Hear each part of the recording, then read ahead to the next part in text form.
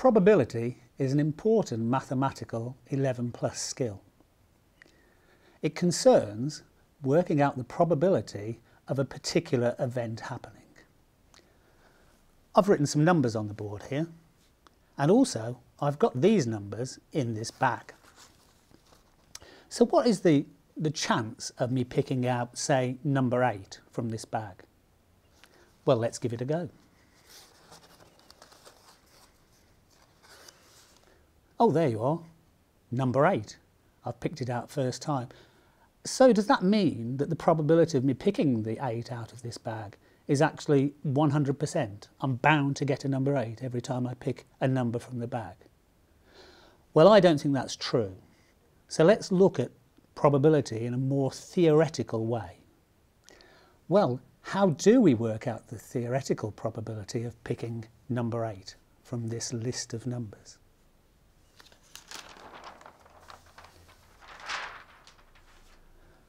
Well, here's the definition of theoretical probability.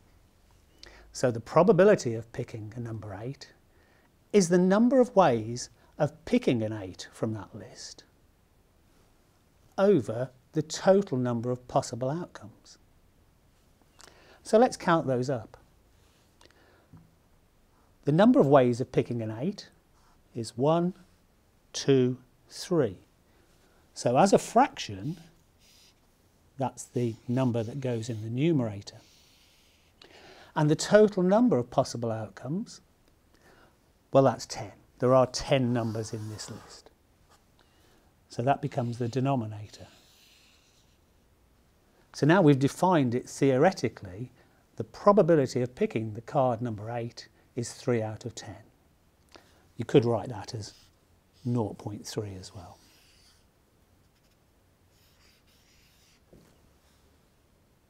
Okay, let's do another question.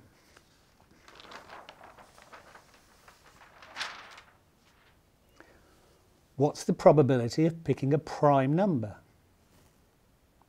Well, you've got the list of numbers again, but we have to make sure that we know what a prime number is to be able to answer this question. Prime numbers are numbers that have exactly two distinct factors. So Let's look at some of these numbers. There's the number 1. Is that a prime number?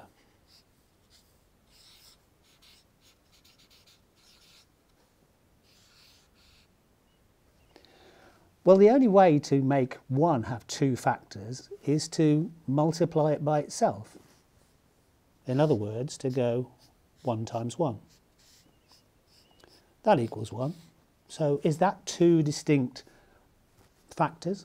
In fact, it's not. The factor is repeated. So 1 is not a prime number. Let's choose other numbers from the list and see if they're prime numbers. Let's have a look at number 11. The two factors that I can see immediately for 11 are 11 times 1. So the only two factors are the number itself, number 11, and 1. And so that makes this number 11 a prime number. Now there are other numbers in the list that are prime numbers, and that's number 2, number 3, and number 7, so that makes it three prime numbers more than the 11. So altogether we've got four prime numbers. So remembering what we did on the last um, slide, the probability of picking a prime number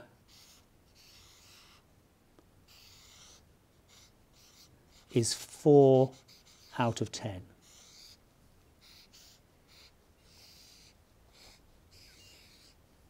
And that does equal 0.4.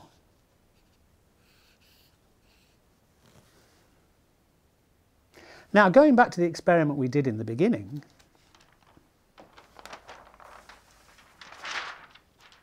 if we were to repeat that picking number cards from the bag and we repeated it 100 times, how many times would we expect to get a prime number? Well, this is found by doing the probability of getting a prime number, which is what we've just done on the, on the last question. So that was 0.4 or 4 tenths. And we multiply it by the number of trials that are being done.